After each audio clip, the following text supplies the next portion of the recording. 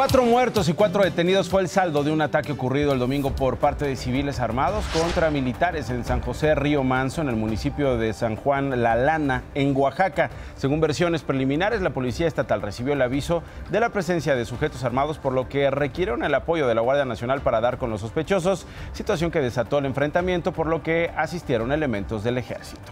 La jefa de gobierno de la Ciudad de México, Claudia Sheinbaum, confirmó que serán investigados los dos jueces de control y el magistrado que llevaron el caso de Abril Pérez Agón, quien en enero denunció a su esposo por violencia familiar, por tentativa de feminicidio y que la semana pasada fue asesinada. Por lo que significa el caso de Abril, está trabajando para eh, llegar a las últimas consecuencias en el caso del feminicidio de abril.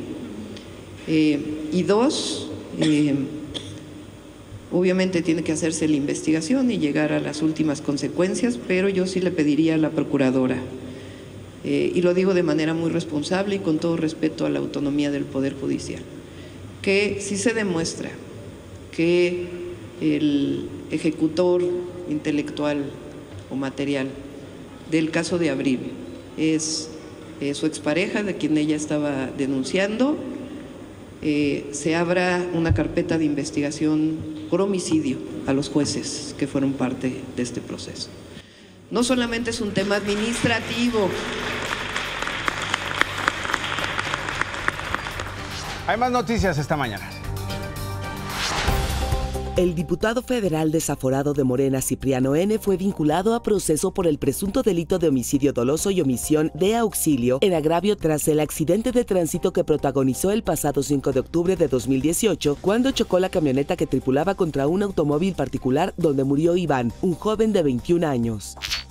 Una serie de enfrentamientos entre policías de Coahuila y civiles armados dejó al menos 21 muertos, incluidos cuatro policías en una comunidad de Villa Unión. El enfrentamiento se desató poco antes del mediodía, cuando policías locales detectaron varios vehículos con civiles fuertemente armados recorriendo la ciudad, por lo que requirieron la intervención de militares.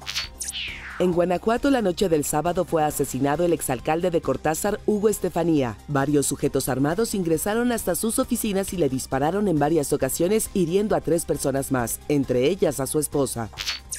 Empresarios, comerciantes y vecinos del centro histórico solicitaron al gobierno capitalino que evite actos vandálicos durante la marcha feminista que se tiene programada para el día de hoy. Aseguran que apoyan y son solidarios con la lucha de las mujeres, pero los exhortaron a no afectar las fuentes de ingreso de cientos de familias que laboran en los establecimientos del corredor Reforma Centro Histórico. El presidente Donald Trump y sus abogados rechazaron la invitación del Comité Judicial de la Cámara de Representantes para participar en la audiencia pública del miércoles por la investigación de juicio político al mandatario. De Pisa y Corre con Nacho Lozano, lunes a viernes 8 a.m. Participa en Imagen Televisión.